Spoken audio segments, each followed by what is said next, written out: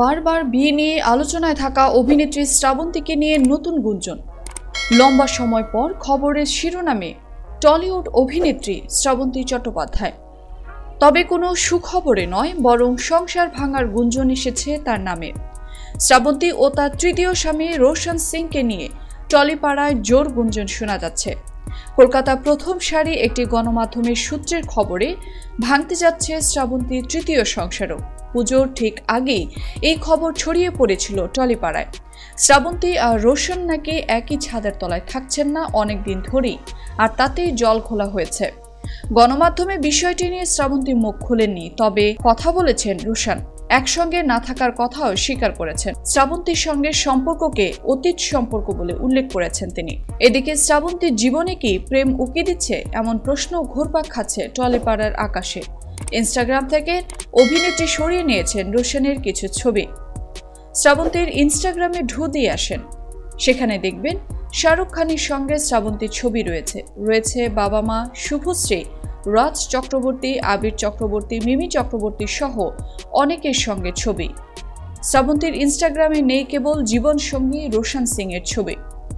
রোশন এর সঙ্গে যে ছবি এবং পোস্টগুলো ভাইরাল হয়েছিল, ফেসবুক, ইনস্টাগ্রাম সব জায়গা থেকে সেগুলো ডিলিট করে ফেলেছেন শ্রাবন্তী। ইনস্টাগ্রামে তার নামটা অবশ্য এখনও শ্রাবন্তী সিংই রয়েছে।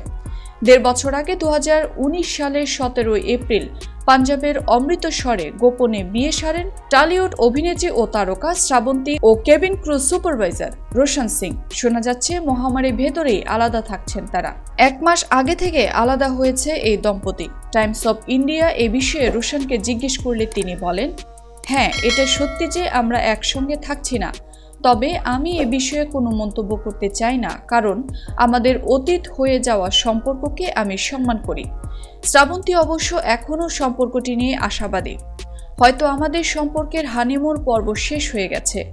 তার মানে এই নয় যে আমাদের সম্পর্ক শেষ হয়ে গেছে। সমস্ত সম্পর্কে উঁচু নিচু বাক আছে। আমি বিশ্বাস করি আমাদের নিজেদের সমস্যা আমরা নিজেদের মতো করে সমাধান করে নিব।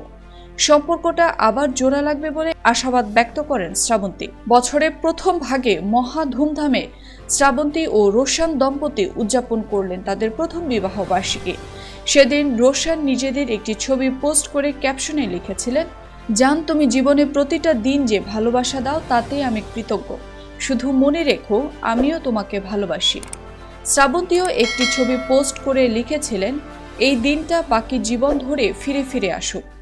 বিবাহ বার্ষিকী উপলক্ষে তাদের দেওয়া সাক্ষাৎকারে শ্রাবন্তী বলেছিলেন, চোখের পলকে একটা বছর পেরিয়ে গেল।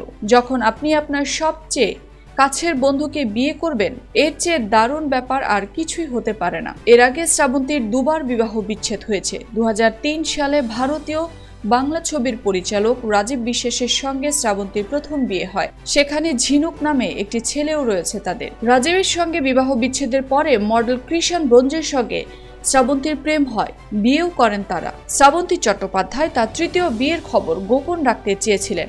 তাই মার্চে তিনি বলেছিলেন, বিয়ে আর ব্যক্তিগত জীবন নিয়ে প্রশ্ন করবেন না। কলকাতা টাইমসকে দেওয়া এক সাক্ষাৎকারে শ্রাবন্তী জানান, তিনি তার স্বামী রোশন সিংকে আদু নামে ডাকেন এবং রোশন তাকে নাদু নামে ডাকে।